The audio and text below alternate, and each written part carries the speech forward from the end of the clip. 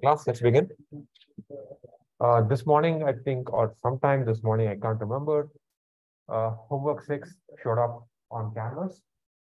Um, this is uh, uh, this is primarily uh, about implementation. There's just a little bit of theory which actually is going to inform your implementation.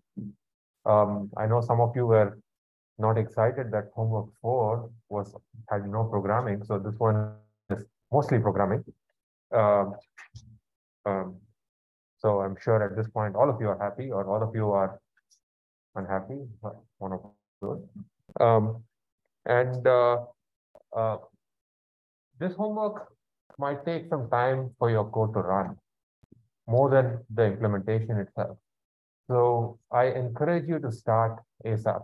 By the end of today's lecture, you should have everything you need to do the entire homework. So uh, start as soon as possible. This code is gonna the uh, the experiment part of it will take a bit of time. Um, this involves two or three data sets, right? Oh, yeah. So we've created three data sets for you um, that uh, um, we're not going to share what the underlying true concept is. Um, there's something interesting about those three data sets is all I can say. Uh, and uh, I want you to explore using SVM and logistic regression on it. And optionally, uh, for extra credit, there's also a new kind of an ensemble that we've described in the homework, where you train some decision trees, decision stumps actually, on the data, and then treat the decision stumps prediction as features and train an SVM on top of that. So it's like an ensemble of decision stumps, but something that we've not seen in the lectures before. It's extra credit. If you want to do it, do it. Uh, if you do it, you might you could also choose to do it for your uh, project. Um, the nice thing about the SVM uh, and logistic regression implementation is that in both cases you'll be implementing uh, stochastic, excuse me, stochastic gradient descent. Um, so in both cases you'll have uh, uh, code that kind of structurally looks like your perceptron code. So not average perceptron, but the batch perceptron where you have an, an outer loop over epochs and inner loop over examples. Before the inner loop, there's some shuffling. And then there's like this update step. The update step changes from each of for each of these things. So uh, this could also give you some opportunity to revisit your old code if you're interested. Uh, there's a question on uh, Zoom. Will there be homework like homework three before the final? Unfortunately not, uh, simply because we don't have time. Uh, April 25th is the last day of classes. So we can't have another homework before uh, the final that I, I, I don't think I'm allowed to give you homeworks during the exam period, right? I mean, you could, but then you can do as well. Sorry? You can give a final project and just have a final project. I know, well, I can have a final project and an exam. We have that. In fact, we do actually have that. What we, what is kind of borderline uh, uh, cruel is also to push a homework on you at that time. Um, so I'd rather not. Instead, I'm going to create this uh, a document that kind of summarizes the kind of thing, everything that we've seen, and maybe, maybe uh, if I'm able to actually manage the time, uh, even create like a practice final. Um, the final will look like your midterm. So if you want, you can think of your midterm as your practice final. Uh, uh, or alternatively, uh, your midterm is, uh, since your midterm is uh, kind of smaller, your final will be for two hours. Um, so yeah, either that's a good thing, you have more time, or it's a bad thing, the misery is prolonged. Uh, one way or another, you have two hours. You can choose not to be here for all the entire two hours you want. Um, anyway, uh, I also wanted to remind you uh, about all the things that are going to be on your plate for the next few weeks. We are coming close to the end of the semester, and like all ends of semesters, things kind of pile up at the end. Um, there's homework six that's due on the last day of class. That's uh, April 25th. And then there's the final project submissions that need to happen. And that would be the last day of the exam period, uh, which is May 3rd. And it so happens that uh, our exam is also on the last day of the exam period on May 3rd. It will be in class Uh, there's some time that has been allocated for us, which I do not remember. It's on the class website. I'll look it up and uh, put it on an announcement uh, afterwards. Any questions about any of these things? The reason I have this list here is just to kind of remind you that there's going to be a whole bunch of stuff coming your way and uh, um, you know, just organize your time. So I'll get you in a minute. I noticed that I've been missing a bunch of Zoom questions. Um, there's one question that says, uh, if I want to use decision trees as weak learners for AdaBoost, should I build the decision trees first and then feed the pre-built models into AdaBoost? Actual or alternatively, sh uh, should we train the decision trees or whatever we weak learner we want inside the AdaBoost where we call the weak learner? Um, technically speaking, you could do either one, but I think the latter is better. So the latter here is you have uh, in inside the AdaBoost loop, you have a set of examples and a set of weights for each example. And you need to, uh, I, I would suggest train a decision stump, not a decision tree, um, on those weighted examples, rather than having a pre-built set of trees from which you choose one that has the lowest weight. You could do that also. Uh, but there is a, uh, the, that brings up the question, how do we make sure that the decision tree that you learn satisfies that distribution? So, you know, you want examples that have high weights to have low errors. There are a few different ways of doing this, and I'm going to uh, um, describe an approach. So let me maybe first tell you tell you what the question is in a little bit more detail. This might be useful for your projects uh, for everyone. So suppose you have uh, the AdaBoost algorithm looks essentially like for t in 1 to t, you first construct, you have d uh, uh, d0 here, you initialize it with a uniform distribution, and then you have, uh, uh, let's say, ht is called on examples. And the distribution at this time step. The second step is update the dt of uh, plus one, and then alpha t and epsilon t and all that. So, uh, you know, there's a lot more detail that I'm sure uh, uh, I don't need to talk about. But the interesting point is, how do I call a weak learner on a set of examples and also ask the learner to respect this distribution, right? So all the learning algorithms that we, we have seen so far don't do that. All they do is they take a data set and produce a classifier. But here we are saying it's not just a data set. There are some examples that are more important than others. How do you force it to respect the distribution? There are two high-level strategies that you can use. Uh, for any of these stochastic gradient descent based methods, uh, you can, so for any SGD type method, and I'll answer the uh, question that came up uh, on decision trees after I talk about SGD. Any SGD type method has an update that looks like the weights are the old weights plus some, not plus, minus the learning rate times the gradient. I'll just call it gradient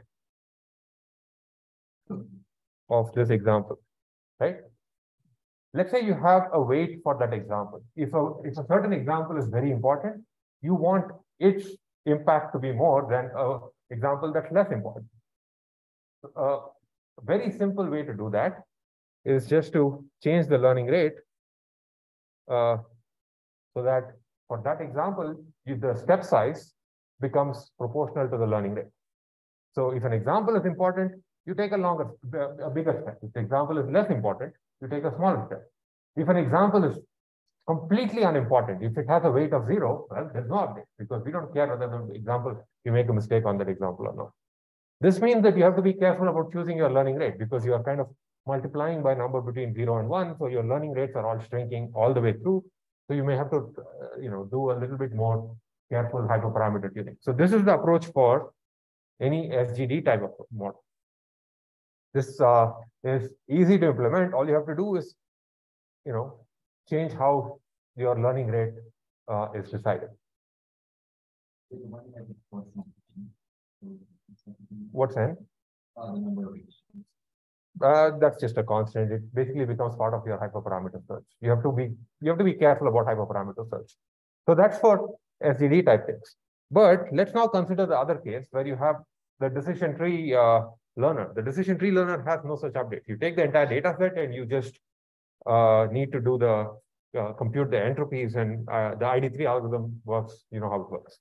So it turns out there are there's you can try to be uh, clever and invent uh, sort of a, uh, a, a, a, change change the definition of entropy so that important examples get more represented and less important examples get less represented. And that way, uh, you you could do this. You can not do this, but you can construct a, a tree where important examples get higher weights.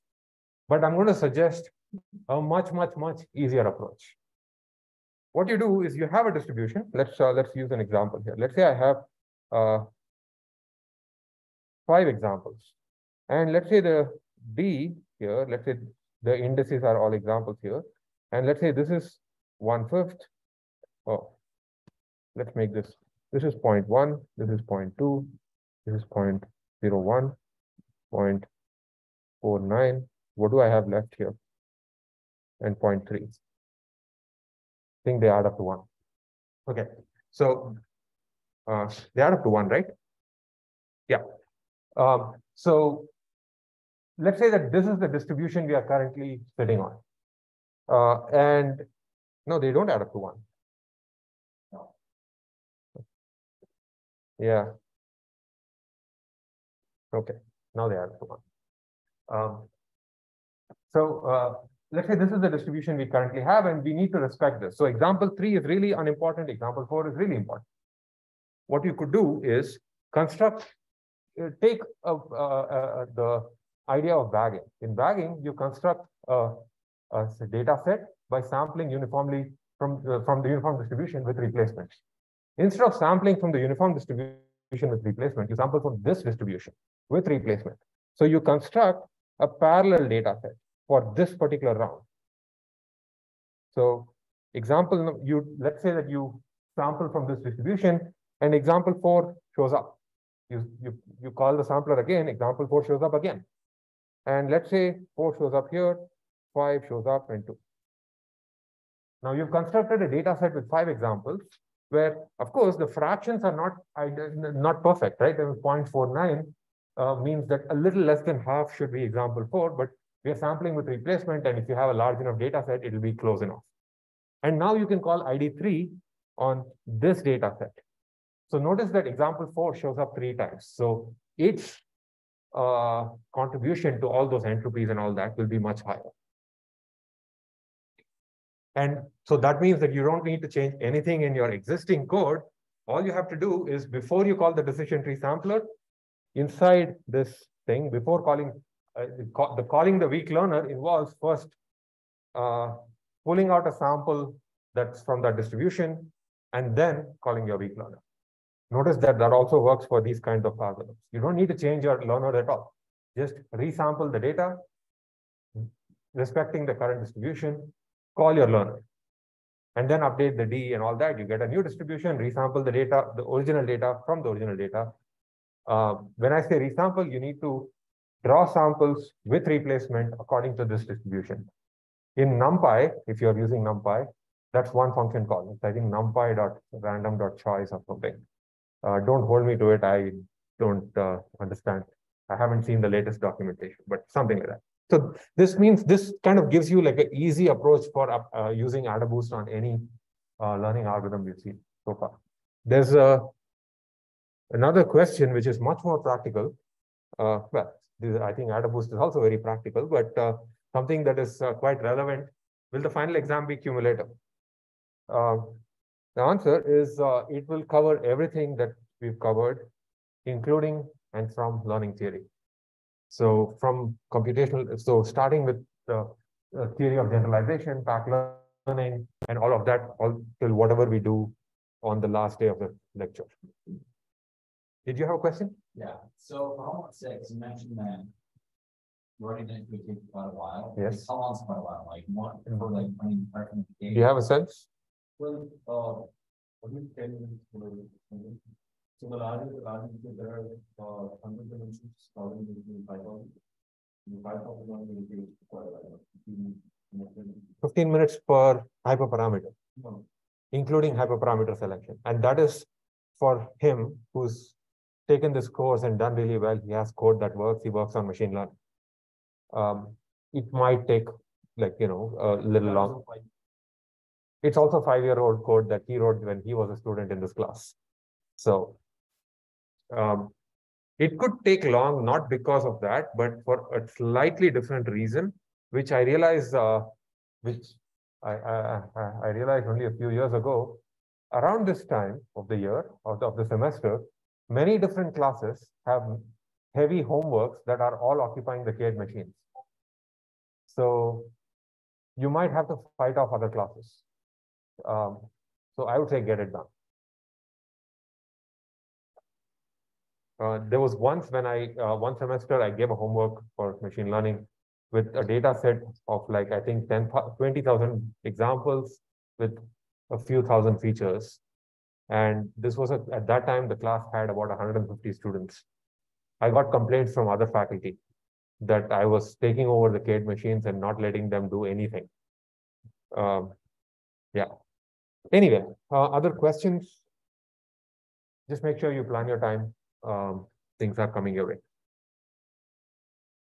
Uh, the, another uh, related point in terms of logistics, all the, the fact that we are only two weeks away from the end of the semester also means there's a rush at, uh, from my side on trying to cram as much as possible into these two weeks. Um, today we're going to talk about logistic regression. On uh, uh, Tuesday and Thursday, we'll talk about neural networks. And on Friday, I'm going to fit together whatever else I can, uh, in, but focus primarily on practical advice on how to deploy machine learning. Uh, it's not going to be like a, a or how to debug machine learning code, which you might say should have been the first lecture, but it's going to be the last lecture. All right, so anything about any logistics interesting? No? Okay. Let's start a new unit today and hopefully complete it today. We're going to talk about logistic regression. Um, to kind of uh, step back and see where we are. Uh, we've already seen the idea of linear models. We have uh, already encountered the idea of learning at loss minimization. We have encountered two different criteria for Bayesian learning, namely maximum a posteriori or MAP estimation and maximum likelihood estimation or MLE. This is MLE estimation. Okay.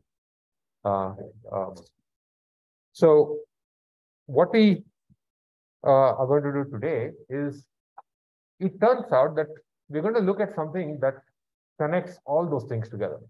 We'll first look at the definition of logistic regression. Logistic regression is a new kind of a classifier. So anytime you see a new kind of a classifier uh, or any new model, you should ask yourself uh, the same, almost the same set of questions. The first one is, what's the definition? What's the functional definition of that classifier, of that model? Because if you do not, if you cannot understand what's the functional definition of the model, that means you cannot implement it, you cannot deploy it, you cannot analyze it.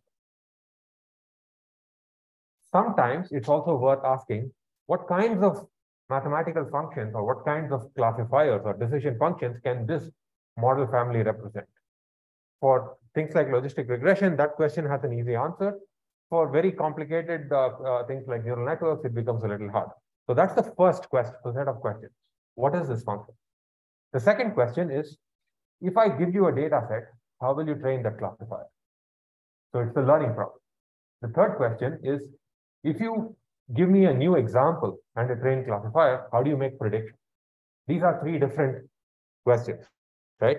One is, what is the functional definition? Second, how do you train? The third one is, how do you make prediction? And uh, understanding all these three means that you have enough information to probably uh, deploy, uh, you know, uh, actually implement it or use it and be certain or at least have some idea of when this might succeed or fail.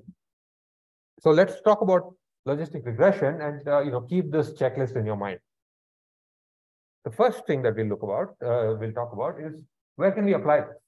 We're still talking about binary classification. Our inputs are d-dimensional features. So we are assuming that somebody else has done the feature extraction for us. We have feature vectors. We are, we are going to call that x. Our labels, uh, this is a binary classification task. Our labels are minus one and one. Um, and the, uh, you know, to kind of, this, for the, for, from the point of view of training, we assume that uh, we are operating in a supervised setting. We assume that we have a training set S consisting of Xi and Yi.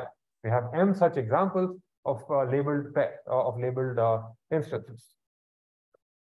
Logistic regression is the name suggests regression, but it's actually uh, a classifier. The output is discrete. Either the, the output is 1 or minus 1.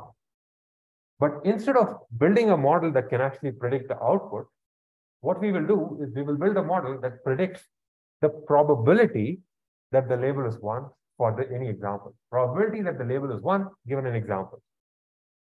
If you have this probability, then you can threshold this probability at half or wherever you want to kind of convert it into a decision function. This is the important difference between logistic regression and the other things that we have seen so far. Uh, there's a conceptual difference. In logistic regression, we build a system, we build a model that produces a probability that the output takes a certain value.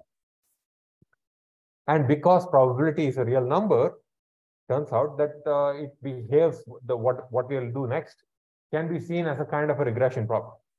It's not any kind of regression problem because if it was any regression, the out the the num the output that's produced could be any number from minus infinity to infinity. But we want to produce a probability, so it has a particular form. So, in other words, our hypothesis space is not the function, uh, is not the set minus one uh, or one, but the range minus one, this is poorly written, so minus, but the range minus one comma one. So the, you can produce take and the the output of the model that we train can take any uh, um, uh, number between can produce any number between zero and one for an example. The original problem produced only minus one or one, and we are going to uh, modify the problem. The same d-dimensional vector, the input feature, gets mapped to a probability. And as a result, um, we have modified the, the original problem definition into a regression problem. Now, if you think about what kinds of functions can map a vector to a number between 0 and 1, I'm sure if you spend some time thinking about it, you can invent like 10 functions very quickly. It's not without knowing anything about logistic regression. So we now have a choice of which family of functions we're going to train. So our hypothesis space, uh, uh, the, choice of the hypothesis space is still something that we need to con uh, consider. Logistic regression makes a particular choice in that regard. And to make that choice, it takes advantage of a class of functions called the sigmoid function. Uh, the the hypothesis space for logistic regression, I'm calling it HW of X, because remember, this is H produces a number between 0 and 1. HW of X, it's all functions of the form. I'm calling this sigma uh, as a, sh a, shorthand for sigmoid. Uh, all functions of the form uh, where uh, that, that do the following. The input features come in. First, the function has some internal weight. It takes the dot product of the weights and the input features and then applies the sigmoid transformation to that. When you take the dot product, you get a number, a real number. Then you apply the sigmoid transformation to that real number, and that is the output.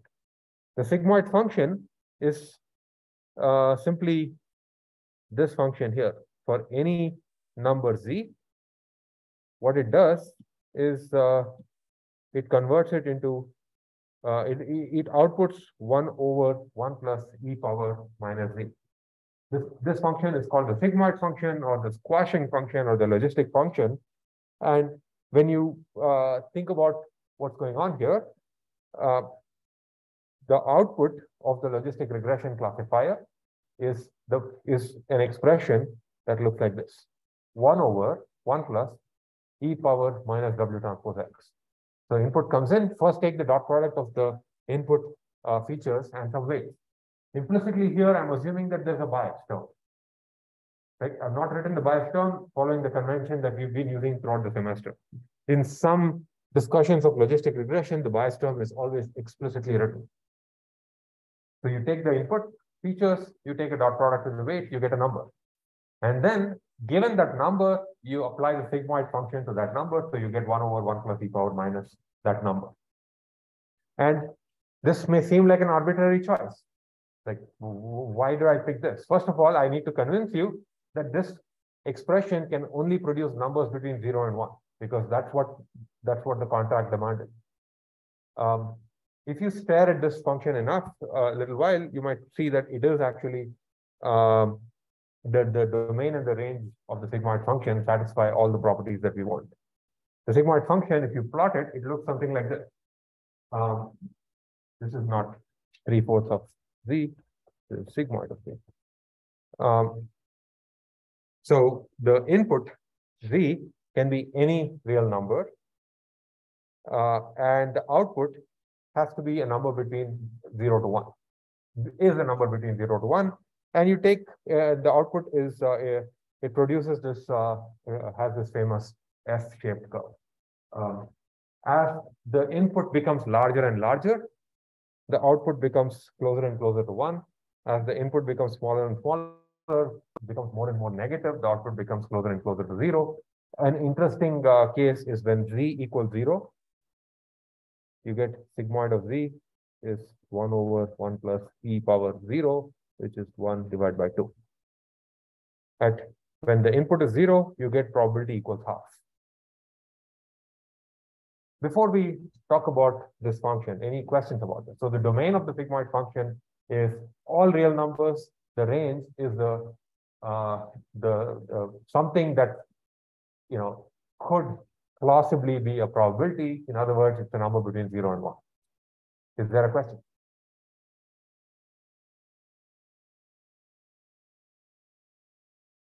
Yes.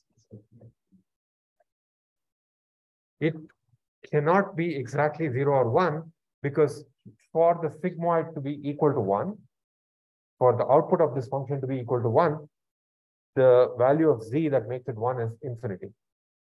The for the value for the output for the, the output of this function to be zero, the value of z should be negative infinity. So the only way you can get uh, exactly zero or exactly one is when uh, at the infinities. But for all practical purposes, I have found that, you know, more than six or 10, you get such close numbers to zero and one that it's not going to matter too much.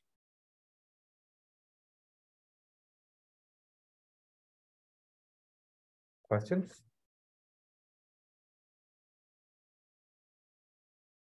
Those of you who have seen uh, hyperbolic function, uh, this function has the same shape as the tan h function. In fact, it's just a linear transform of the tan, tan h function.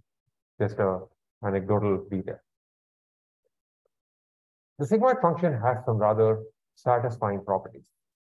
So because we're going to operate in this world of uh, gradient-based learning, an obvious question to think about is what's the derivative of the sigmoid function? So can someone kind of quickly work this out? So imagine that you have the sigmoid function defined this way. This is a function of one variable. V is a real number.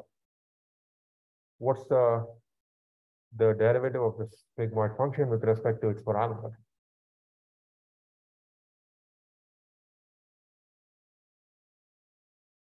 Well, it is 1 divided by 1 plus e power minus z square times the derivative of the numerator, which is, what did I do here? this is a minus 1. Did I miss something here? Oh, no, that's right. So then e power minus z times minus 1. which is e power minus z. And I'm going to, you have a square here, right? I'm going to partition split that into a product of two things divided by 1 plus or minus z times 1 divided by right? Well, this is exactly the sigmoid function. And if you think about this a little bit, this first term here, this is 1 minus the sigmoid of z times. So the derivative of sigmoid function is simply 1 minus the sigmoid of the, the 1 minus the sigmoid times the function value itself. You don't have to worry about uh, the reading my notes. This is the same thing written a little bit more compactly. Questions about this? Now, the reason I'm showing you this is because uh, for two reasons. First of all, um, when you actually need to use stochastic gradient descent or any gradient-based method for the sigmoid, you need to actually perform this operation. So that's important. The second thing is uh, for your homework. First question in your homework asks you to take the derivative of the loss function for logistic regression, which means somewhere inside, you need to actually take this or uh, perform this operation. Questions?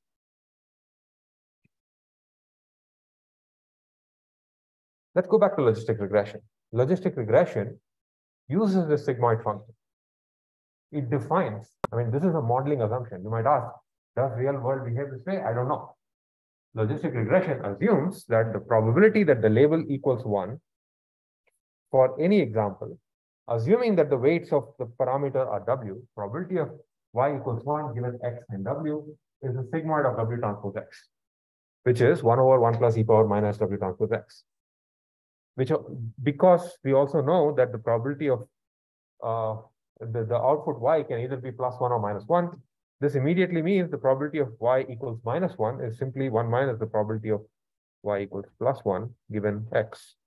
I'm writing w here just to kind of remind you that we also need the weights uh, to actually compute this probability, which is one minus p of y equals one is exactly this quantity here.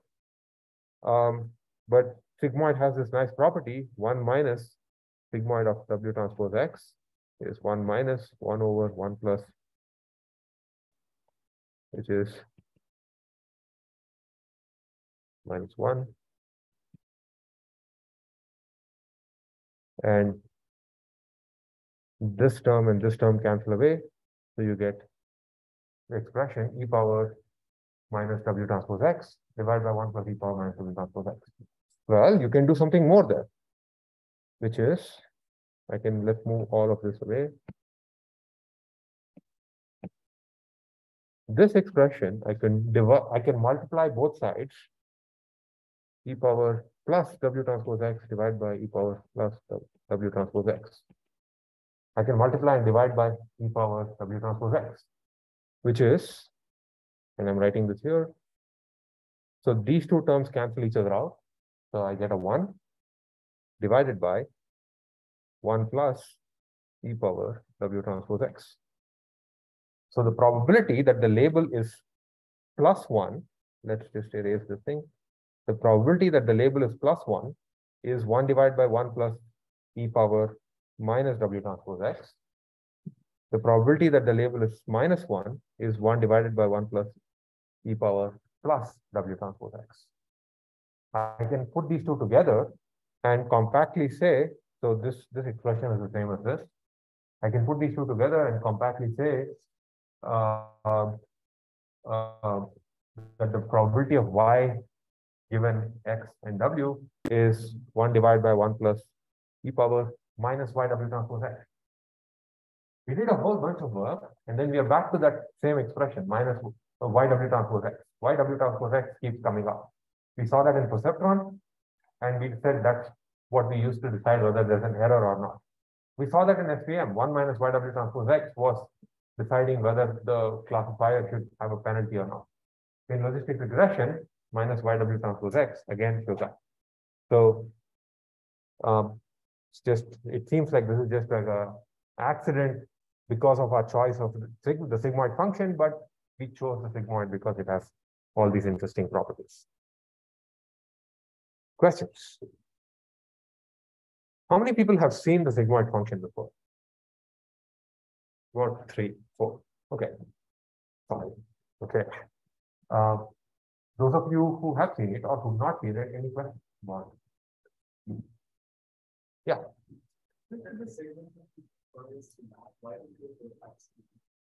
I don't know. Maybe it goes around committing crimes. I don't know what you mean by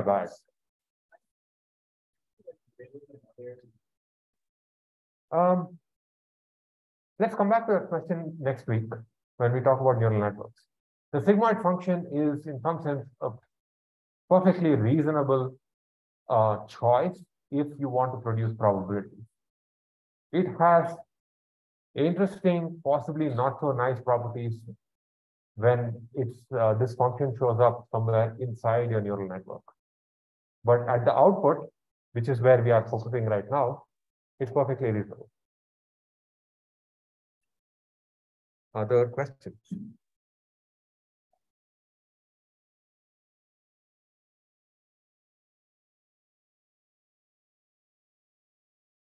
This stuff is actually not particularly hard. Uh, and the reason I say that is because I've shown you nothing so far other than the definition of a function and uh, shown you what, you know, what it looks like and how it behaves.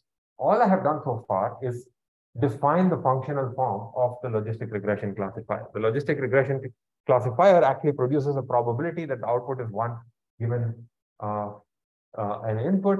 And the way it does that is by essentially uh, uses a weight vector internally and construct uh, and squashes the, the resulting score using the sigmoid.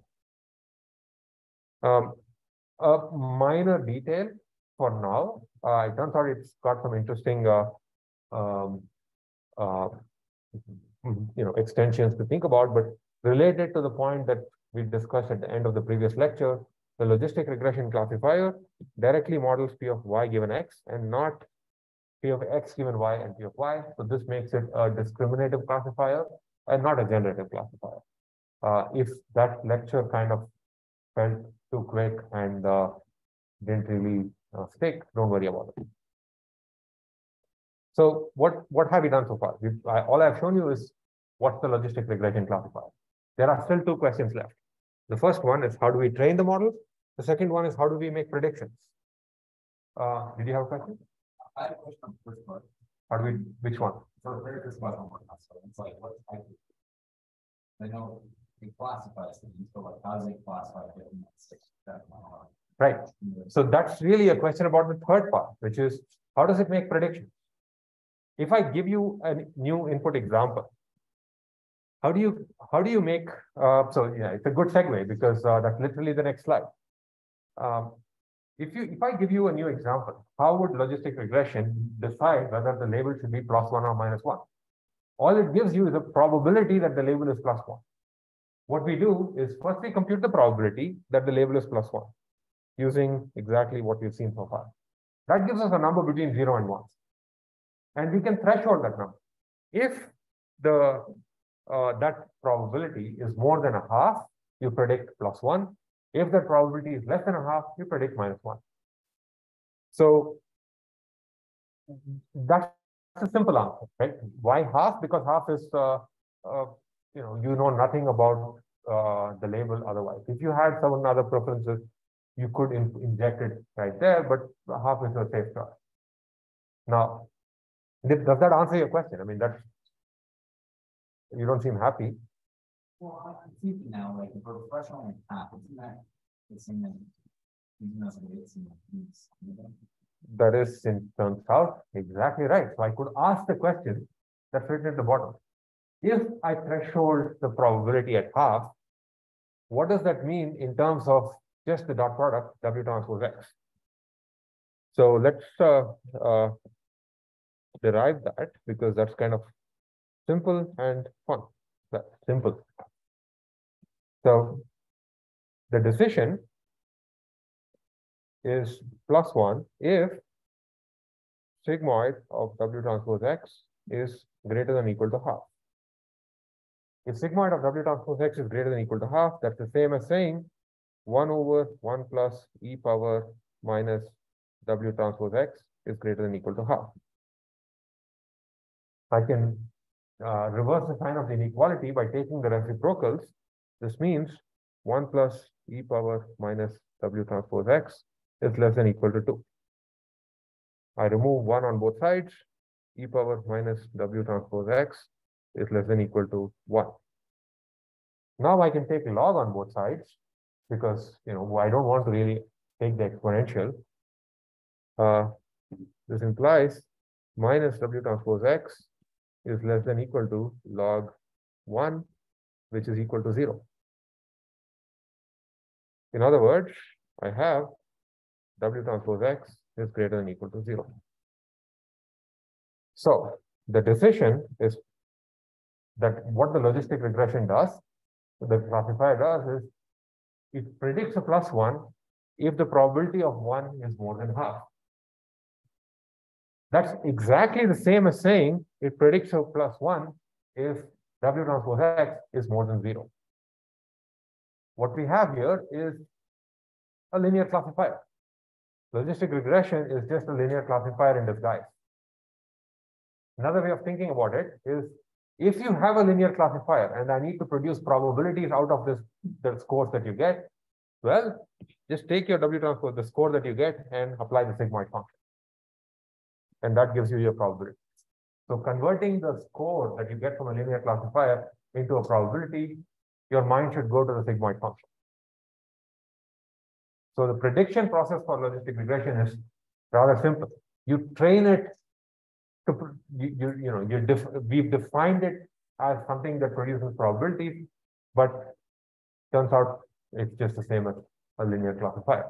But because we have this ability to produce probability, we can now put a, put a Bayesian hat on, uh, on ourselves and examine this object that we have, namely the logistic regression function, from a Bayesian point of view. And in particular, we can define Bayesian criteria for training the logistic regression classifier, which we could not have done with SVM. Or, uh, sorry, not SVM, which we could not have done without actually getting into this world of probabilities. That's the reason why this, uh, this is kind of cool. So short answer, predicting a label with the logistic regression function, well, you have a linear classifier, so the prediction is simply the sign of W transpose X. Questions? Did you have a question? Questions on Zoom? So we had three three uh, uh, things in our checklist at the beginning. We needed to see what the logistic regression function was, or the, what the logistic regression model did, and turns out it produces these probabilities. We needed to see how prediction is done. Well, prediction is done using the sign of the uh, weights, the dot product between the weights and the features. There's only one thing left. How do you do training?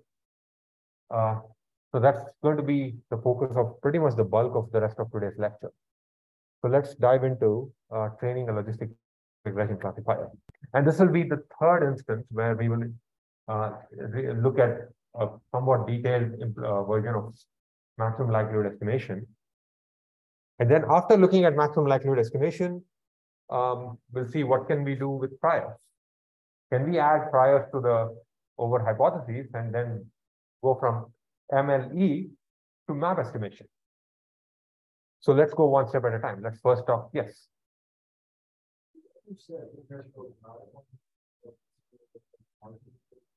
Um, you could actually, that's a very good question. You could set a threshold to be something else. Uh, let me give you two scenarios where that might be helpful. Let's say that you you have a you have a model that produces probabilities, for an example, but you the the the and let's say you're going to deploy the system in some uh, real life scenario. And you find that the risk of predicting, of mispredicting something as a one is much higher than the risk of mispredicting something as a zero. Then you say, uh, the evidence I need to call some example as label one should be much more than just 50% probability. I need 80% probability for something to be one. Otherwise, I'm going to just you know call it a zero or a uh, uh, yeah minus one. So then you set the threshold to be that. So that's one scenario where you set the that's one sort of a situation where you can do that. That's that's the threshold of just you just move the threshold to uh, uh, away from half. It turns out you, you I'll leave it as an exercise for you to think about what that does to the W transpose X situation. That it turns out that's exactly the same as instead of setting the threshold to be zero for W transpose X, you set it to be some positive number. I'll leave it as an exercise. Uh, I mean, it's kind of simple to prove that. Another scenario where you could do where you could do something different and then threshold just thresholding at a half is you have two thresholds. You have a let's say that your classifier, your model produces a probability, and you say if it is more than 75% probable, then I label it as plus one. If it's less than 25% probable, I will label it as a minus one. If it's between minus 25 to 75%, my classifier will refuse to give a label because it's actually uncertain. So you can you can use the probabilities to only label uh, produce labels where your classifier is certain. You can again apply the same question uh, this, this point this uh, uh, thing uh, what I described the two threshold situation to the W transpose X. In that situation, in, in, with W transpose X, what it would do is if W transpose X is more than some big positive number, some positive number, you label it as plus plus. If it's less than some negative number, you label it as. And if it's between, you know, close to zero, between uh, between some uh, say minus six and plus six, or minus three and plus three, you refuse to label. So you can essentially apply the same argument both at the probability uh, in the probability space or in the uh, the, the score space. And you know, the, this assumes, of course, that what we have are actually real probabilities. Very often when we train models, it turns out that we do not get real probabilities. And when I say real probabilities, I mean uh, something in a very technical sense. If you're interested in follow, following that up, look up the word calibration, calibration of estimators. Uh, that's kind of a fun topic that uh, can become a you know, exploration of its own. But you know, th does that answer your question? Yeah. I feel like the sigma function also be in this direction. Now, probably better for ensembles because you can just you can weight it down with probabilities rather than just looking for plus You could ensemble the uh, you could take a weight weight. Okay, that's kind of odd because you're adding up probabilities and you might end up with a number that's more than one. One thing that is done is a normalized product of the probabilities. Um, you multiply the probabilities and then you kind of normalize it so that minus one and plus one, the probabilities add up. That is that idea of multiplying probabilities of a committee is called product of experts. Uh, product of experts was first that phrase was first introduced in a 2002 paper by Geoff Hinton. And it's like a sort of a cheap ensemble. You train multiple logistic regression classifiers and just multiply the probabilities. Um, and uh, you do that for the plus one case, you do that for the minus one case, and whichever one is bigger, that's the name. All right, all good questions. Uh, let's move on. Let's talk about training a logistic regression classifier. Um, we are in the supervised setting. So we have a training set uh, consisting, let's say, of m examples. Our goal is to find a weight vector. The weight, if we knew, if we had the weight vector, we can compute the probabilities for any new example. So the goal of learning is to find the weight vector. We are operating in this probabilistic or Bayesian setting. In particular, we are trying to find uh, the maximum likelihood estimate of those weight vectors. Remember, in maximum likelihood estimation, we want to maximize the, among all hypotheses, we want to find the one that maximizes the probability of the data given the hypothesis. In the notation on the slide, the data is the set S that we have, and the hypothesis function that we have is uniquely defined by the weight vector. So our goal is to find weights such that P of S given W is maximized. Okay, so now, uh, every maximum likelihood estimation process, in some sense, follows a similar sort of a template. First step, you assume that all your examples are IID, because if they're not IID, then you kind of get into very hairy probability situations. Let's not go there. So you assume that all your examples are uh, independent and uh, identically distributed. What do we do next? Any thoughts? So our goal is to construct P of S given W, where S is this set of uh, labeled examples.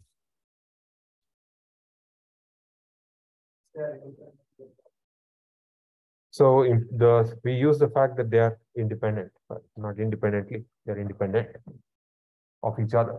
So you have the probability of uh, S given W, well, S is a list of things, a set of things, and each item there is independently sampled from every other thing. So this is exactly the same as the product of probability of xi comma yi given w because they are independent.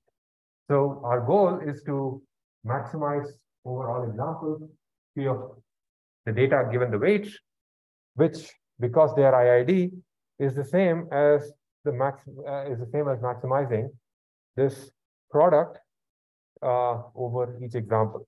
And here, instead of P of x comma y given w, I've written as P of yi given x comma w. Um, I'm not going to tell you why. Uh, I think I mentioned this somewhere in the last lecture, and I'll leave it as an exercise for you to think about, but it turns out this is the right thing to do. Well, the next thing is almost like a formulation. Once you have constructed this expression, the next thing to do is to just take the log of this whole thing because we don't want to work with products. So we can work with the sum.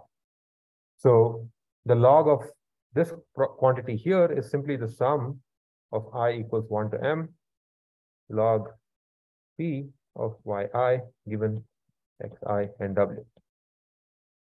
So the log of a product is um, the sum of the logs of the individual things. Okay, so solving this problem is equivalent to solving this problem, which is equivalent to solving this problem. Well, we now need some way of defining the probability of y given x in terms of the weights. Luckily, we know exactly what that is because this quantity here, according to the definition of logistic regression, this is exactly sigmoid of yi w transpose xi because that's the definition of the logistic regression classifier.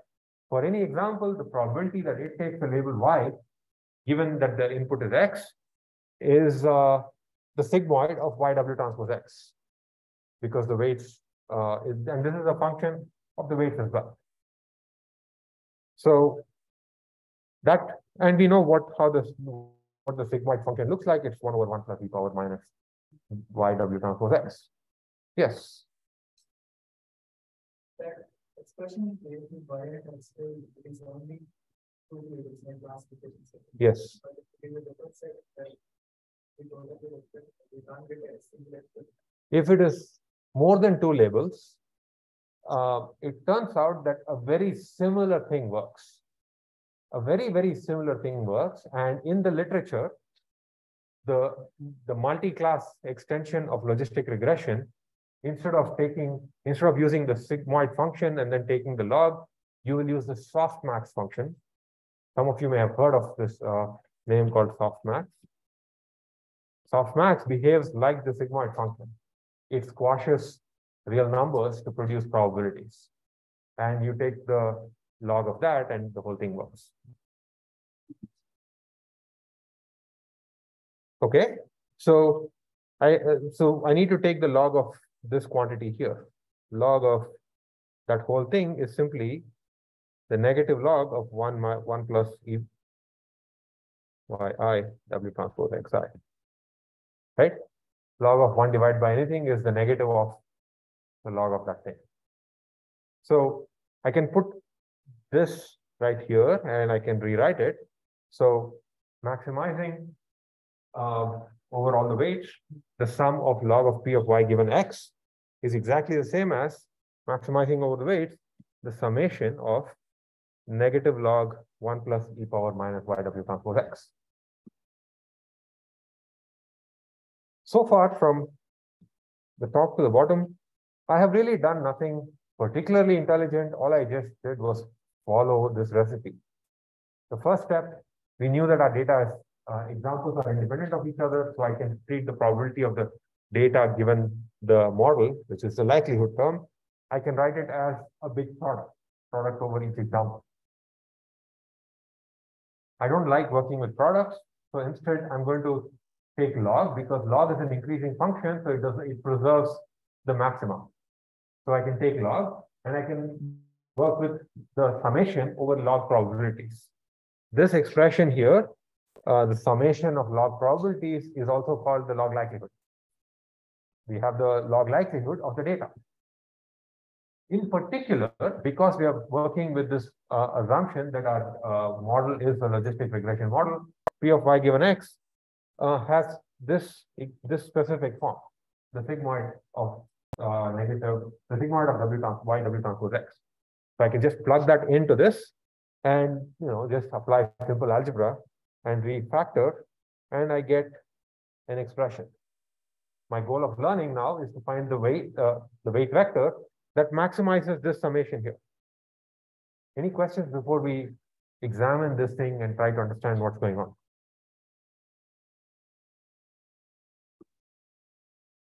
Yes. Why did argmax change to max? Uh, mostly because I got lazy. Um, we are trying to solve, which is why I did not say uh, it's the same as, I was very careful about one thing, which is I said it's equivalent to solving. In order to find the argmax, you need to do the max. Um, and it turns out that argmax is kind of a little bit slightly more tedious to typeset. You know, we live for the little pleasures. Questions?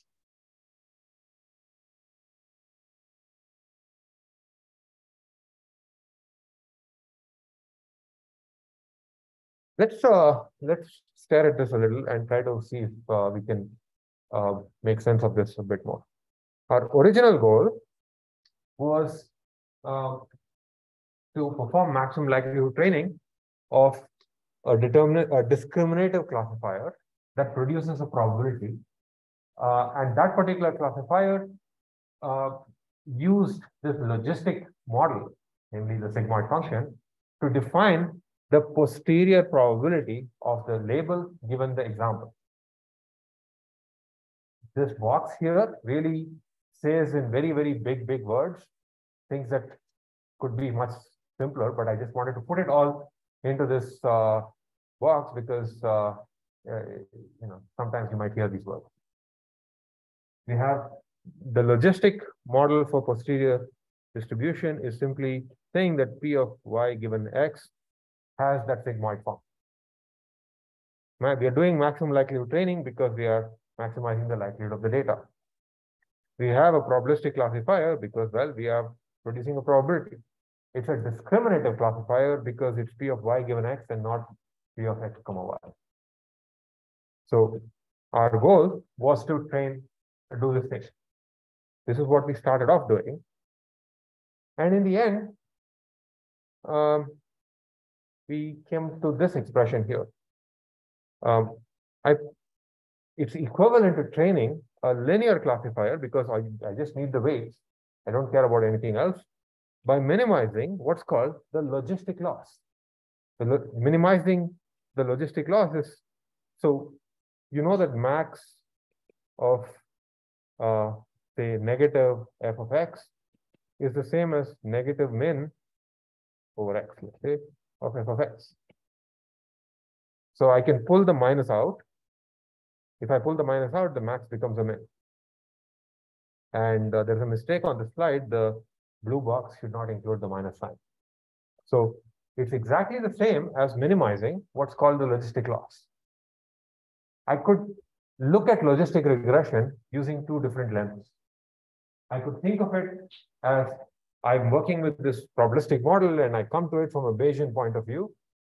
Or I could think of it as I need to find a linear classifier whose weights are W. And for reasons that I can not really articulate, today I'm going to minimize the logistic loss instead of the hinge loss or the perceptron loss, because this is what I have already written code for, or because this is what your homework demands. So these two things are equivalent to each other. These are just two different ways of looking at exactly the same mathematical objects. Any questions? This basically concludes our uh, exploration of maximum likelihood estimation. And we'll move on to maximum a posteriori. But before that, is there are there any questions about MLE? Yeah. The optimization for this is uh, you can use stochastic gradient descent. And that's what your uh, homework, the first question is kind of guiding you through deriving SGD for this thing. The hard part here is deriving the gradient of this thing. That's really the only difficult part. And then plugging it into SGD is almost another sort of a formulaic thing. So this is maximum likelihood estimation. In maximum likelihood estimation, remember, we assume that we have no prior information about the hypothesis. In other words, we assume that it, all for all the weight vectors that exist in this d-dimensional space are equally likely because we know nothing. We could impose certain preferences. We could impose preferences that uh, may be motivated along in different ways, uh, and those preferences can take the form of priors. So to go from maximum likelihood estimation to MLE, we can add priors. Uh, the remember the prior is a term in this thing that uh, that talks about what can you tell me about the classifier before you see any data. One natural thing to think about is before you see any data, no feature is important, right? In the absence of any data, all features should be equally unimportant or equally weighted. A reasonable weight for all of them is zero because you don't you've not seen any data, any data, so you have no reason to believe that feature number 518 should have any non-zero weight. The one way to impose that prior is to say, in the absence of any data, I believe that my weight, each weight element comes from a normal distribution whose uh, centered, whose mean is zero. So with the high, most probable weights in the absence of any data are the zero vector, is a, is a zero vector, set of all weights are zero. Uh, that's kind of a reasonable prior because it says in the absence of any data, don't give any importance to any weight. And one way of uh, um, doing that is to say that uh, you define this probability over the weight. Each weight in the weight vector, Wi, is first of all independent of all the others. We are making this assumption because the math works out a little easy. And this expression is simply uh, the probability density of a normal distribution. So it's uh, 1 over, uh, this is not the sigmoid. I realize now that I have the symbol sigma meaning two different things here. Here, sigma is just the standard deviation. It's a number. I have 1 over sigma root 2 pi e power minus w i square divided by sigma square. This is simply the probability density of a normal distribution. So I could define my priors to be something like this. And given these priors, I can now start putting together, I have all the pieces I need to define MAP estimation for logistic regression. So I have my priors, and let's work through this procedure again. What's the goal of uh, uh, MAP estimation?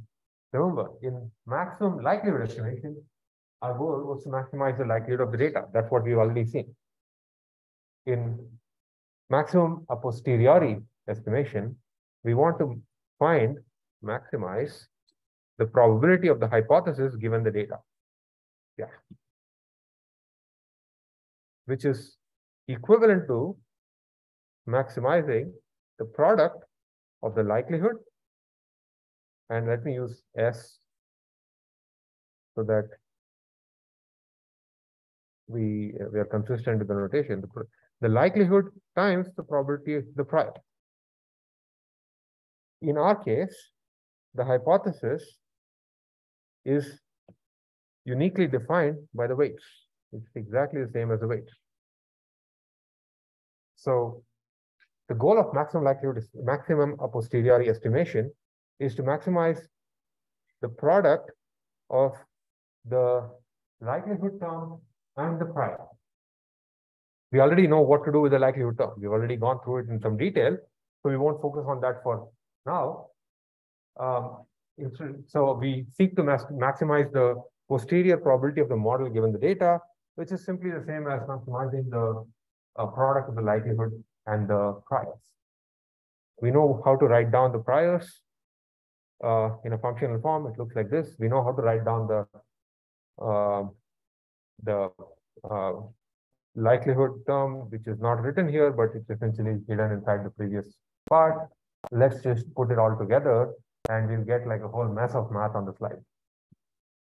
Our goal is argmax of W given X, which is the same as argmax of uh, over W of, uh, sorry, argmax over W of P of W given S, which is the same as argmax over W of uh, P of S given W times P of W. Same, we go through the same sort of, essentially the same steps again. Take the log. Why? Because then products become sums. So we have uh, log of the likelihood term. This is exactly the log likelihood term that we saw before. Um, this thing here, plus the log of the prior term. I'm not going to work through the likelihood term because we already expanded it. And if you go through this process, it's, we are right here. If you go through this process, the likelihood term simply becomes a big summation over this thing here. Let's look at the prior. Well, we know what the prior looks like. It's exactly this expression here. But if we take the log, the, the product becomes a sum. So that's really sum over j equals 1 to d. d is the dimensionality. So sum over every weight, the log of this expression here. Now, I'm not going to go over the really painful details here because the, there are too many expressions for me to write it down clearly, but you should derive this to make sure that you know I'm not lying to you. So start if you take the log of the uh, the prior term, you get sum over all the weights, the sum of the squares of the weights divided by the sigma square. Sigma is the standard deviation that you pick, plus a whole bunch of terms that don't depend on the weights at all. Okay, so what kind of let's step back. Our goal is to learn the weight vector by solving this optimization problem, namely um, max of S given W times P of W. Max of P of S given W times P of W. I took the log and I have break it down into two parts. The first part is simply the likelihood thing, which we have just done, we did before. And the second part is log of the prior, uh, taking the log of the prior and getting rid of any expression that does not have a W in it, because our goal is to maximize the W. Getting rid of all the things that don't have a W in it leaves us with the sum of the negative squared weights times uh, 1 over sigma squared. We are trying to maximize over all the weights. So the constants don't really matter, so we can get rid of them. Does this look familiar? Well, let me write it slightly differently because uh, let me get rid of the constant. And I have maximum maximize over all weights. This is still MAP estimation, okay? maximize over all weights. The sum, this summation is over all the examples of this expression here, which is the log loss, plus, or in this case, minus. Notice that this here, sum of all the weight squared, is exactly the dot product of a vector vector with itself, but with a negative sign. Right? What is if I have a vector W, which is let's say just two elements, W1, W2, what is W transpose W? Is W1 squared plus W2 squared. The sum of the squares of a bunch of things is simply the dot product of that vector with itself. but there's a negative sign which we can pull out. And there's a one over sigma square which we can pull out. And so I can write this whole thing as this expression minus W transpose W divided by sigma square. And we are still trying to maximize this expression. We want to maximize this over the weight. Maximizing a negative function is exactly the same as minimizing, uh, it requires the same effort as minimizing the function itself. So I can get rid of these minuses and convert them to plus and convert this max to a min. So let's do that and move it aside. We have minimized the, the goal of uh, learning a logistic regression classifier using maximum a posteriori criterion is the same as minimizing the sum of these two terms. So question for you. Where have you seen this before? Or where have you seen something like this before?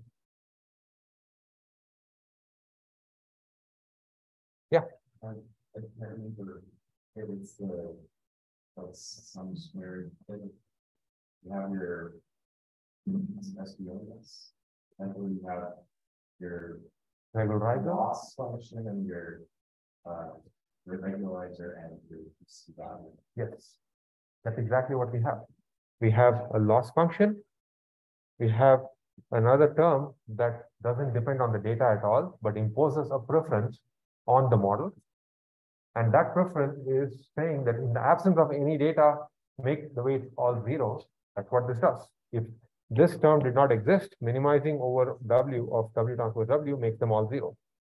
So what we have here is exactly the same as it's an instance of the idea of learning as loss minimization. It just so happens that we have a new loss function here. The loss function we have, which is underlined, is called the logistic loss. The thing in the circle is a regularizer. Um, we did not invent a new regularizer here. This is just a new origin story for the same regularizer. When we were working with SVMs, we said it's good to minimize W transpose W because of this whole margin argument and Vapnik and all that. Now, in the pro in the Bayesian setting, they're saying it's good to minimize W transpose W because it corresponds to having a normal prior on the weight uh, and saying that all the weights without uh, any data, in, in, before you see any data, the expectation is that all weights are zero or they come from the normal distribution centered at zero. There's a sigma one over sigma square term. The one over sigma square term decides which of these two terms is more important. It behaves kind of like the C term. So sigma square behaves like C in this case, in the C that we saw in SVM. I saw some hands up, so yes. So you're saying sigma squared should be like C, but if we're assuming it's the prior for the W, all of it, shouldn't we use that more initializing this W back, and then feeling draw from a normal distribution? like, You could, but it turns out it's not going to matter because this is a convex function. This is a convex function. It has a single global minimum, doesn't matter where you initialize. I'll leave it as an exercise for you to prove that this is convex. Did you have a question? Right. Uh, so is there missing a two from the sigma square? Almost definitely, yes, there's missing a two. Uh, because the normal distribution has a two there. Yes, but it's not going to matter because we're going to just pick sigma square as a hyperparameter, pick two sigma square as a hyperparameter.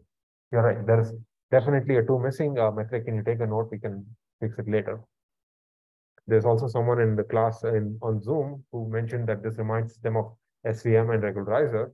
So this we are coming to essentially a unification of ideas here.